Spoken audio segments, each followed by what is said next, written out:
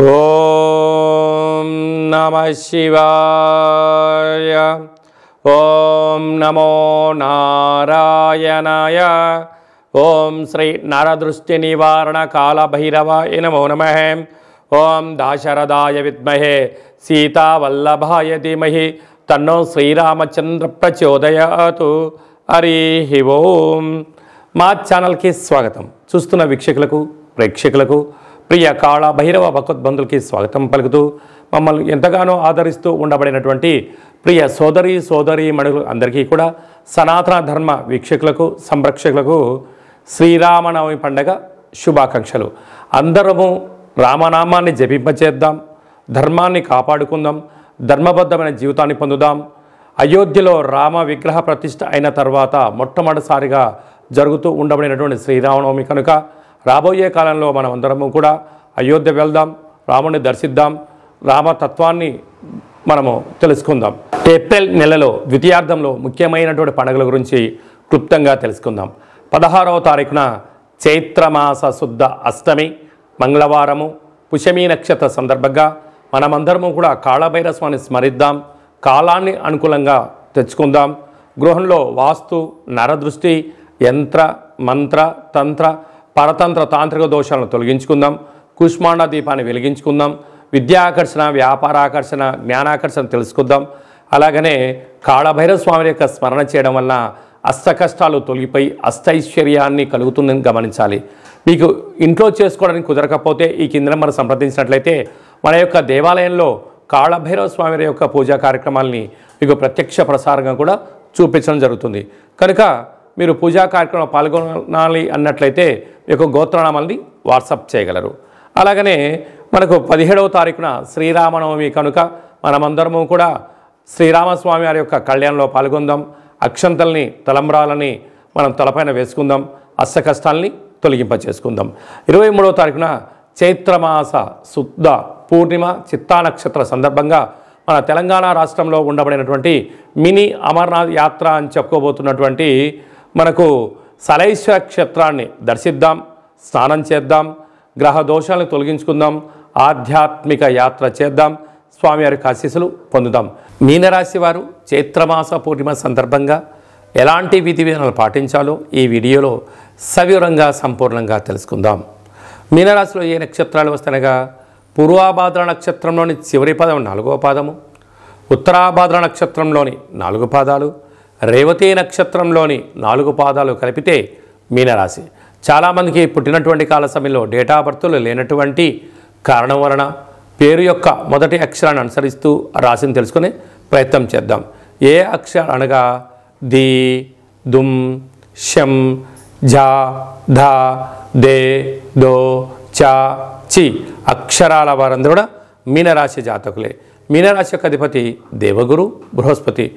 వీరికి రాశిలోనే బుధుడు శుక్రుడు రాహు సంచార స్థితి రెండవ స్థానంలో ధనస్థానంలో రవి మరి గురు సంచార స్థితి ఏడవ స్థానంలో కేతు సంచార స్థితి వ్యయంలో కుజుడు వ్యయంలో శని సంచార స్థితి ఒకవైపు ఏలనాడు శని ప్రారంభ సంచార స్థితి కుజదోష ప్రభావం కారణం వలన మీ జన్మ నక్షత్రం రోజున అష్టమి పూర్ణిమ తిథుల ఎందున దూర వాయు జల ప్రయాణాలు పెట్టుకోవద్దు.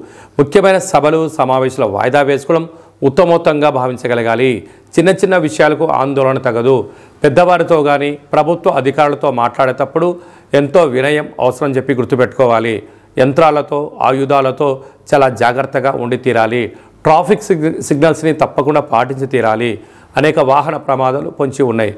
కనుక మీ జన్మ నక్షత్రం రోజున కానీ అష్టమి పూర్ణిమ తేదీ ఎందున ఎంతో జాగ్రత్త అవసరం.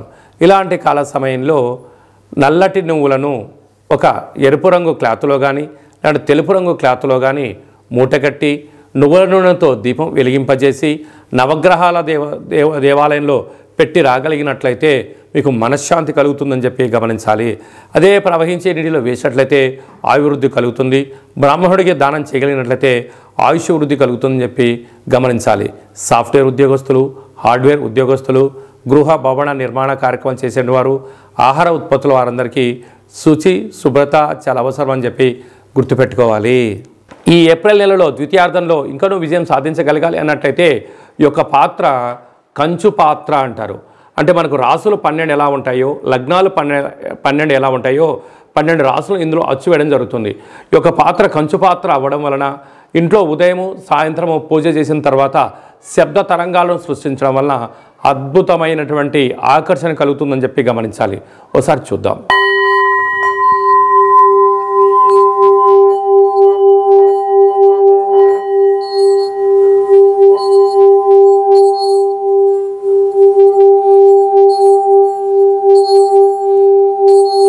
ఈ యొక్క శబ్ద తరంగాల ద్వారా మనిషి శరీరంలో ఉండబడినటువంటి ఏడు చక్రాలు వికసింపచేయడం బయట ఉండబడిన లక్ష్మీదేవి ఇంట్లోకి రావడం ఇంట్లో ఉండబడిన దరిద్ర దేవత బయటికి వెళ్ళడం కూడా జరుగుతుంటుంది.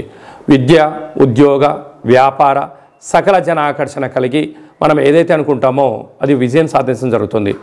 ఈ అక్షయ పాత్రతో పాటి ఒక కాళభైరస్వామి ఒక యొక్క పిరమిడు డాలరు కంకణము కాళభైరవ హోమ కార్యక్రమాన్ని మీకు లైవ్ కూడా చూపించి గోత్రనామాల ద్వారా పూజ చేయించి మీకు ప్రసాదంగా ఏర్పాటు చేయడం జరుగుతుంది. ఆసక్తి గలవారు ఈ కింద నెంబర్ని సంప్రదించగలరు. అలాగే మీ వ్యక్తిగత జాతకం తెలుసుకోవాలనుకుంటున్నారా? మీ యొక్క పేరు తేదీ నెల సంవత్సరం సమయం రాసి వాట్సాప్ పంపించినట్లయితే వంద సంవత్సరాల జాతకాన్ని వ్రాసి పంపించి మీరు పుట్టినప్పుడు గ్రహ గమనాలు ఎలా ఉన్నాయి? ప్రస్తుతం ఎలా ఉన్నాయి? రాబోయే కాలం ఎలా ఉండబోతున్నాయో సవివరంగా తెలియజేయడం జరుగుతుంది.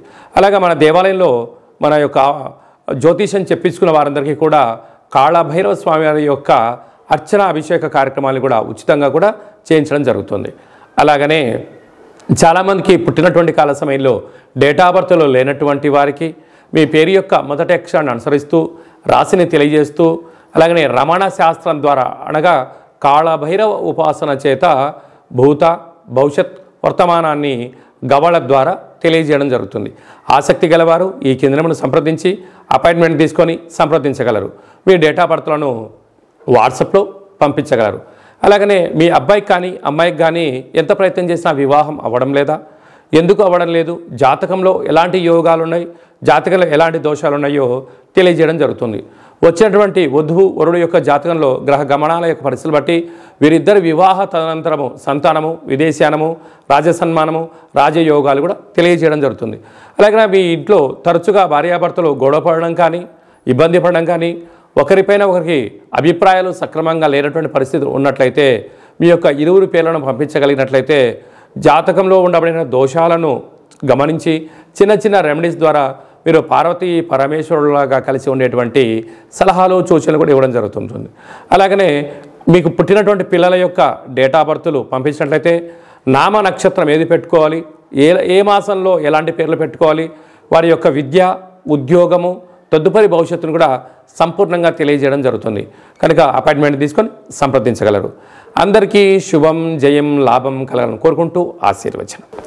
శతమానం భవతి శతాయు పురుష సతేంద్రియ ఆయుష్యేవేంద్రియే ప్రతిష్టతి ధనం ధాన్యం బహుపుత్రలాభం శత సంవత్సరం దీర్ఘమాయు.